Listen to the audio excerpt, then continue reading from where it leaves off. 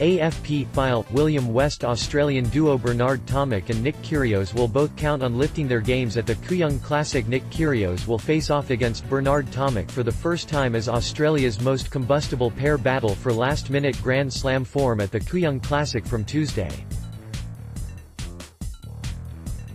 The three-day event, at the private club which served as the home of the Australian Open until 1988, is famed as a relatively stress-free preparation for the opening major of the year next week at Melbourne Park.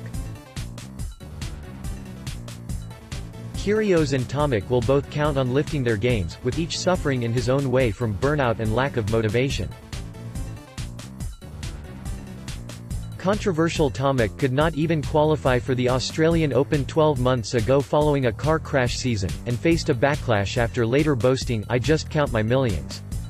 His ranking is now back up to 51st. Kyrgios, infamous for petulant behavior and outbursts on court, ended his season early after arguing with an umpire at Shanghai then picking up an elbow injury in Moscow. While Australia's notorious pair will not clash until Wednesday, organizers have lined up a tasty program, leaving gaps for any late requests in case other top players want match practice under competitive conditions. In 2018, both Novak Djokovic and Rafael Nadal played in one-off exhibition matches.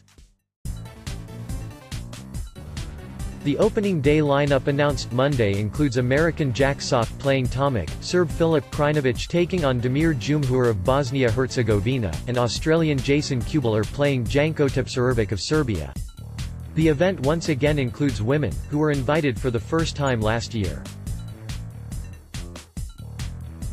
Day 1 sees rising American teenager Amanda Anisimova face Britain's Katie Boulter, fresh from the Hopman Cup last week.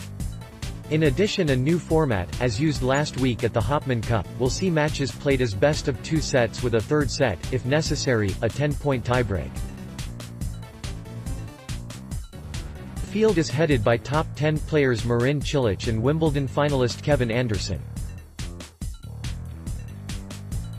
World number 7 Cilic did not play last week as he works to heal a knee problem while Anderson, ranked 6, began 2019 with a title in Pune, India. The 2018 highlight for me was achieving some of the goals I had set for myself, specifically making London year-end finals, winning more than one tournament in the year, winning a 500 series event, and of course making another Grand Slam final. Anderson said, in 2019, I hope to continue pushing the boundaries.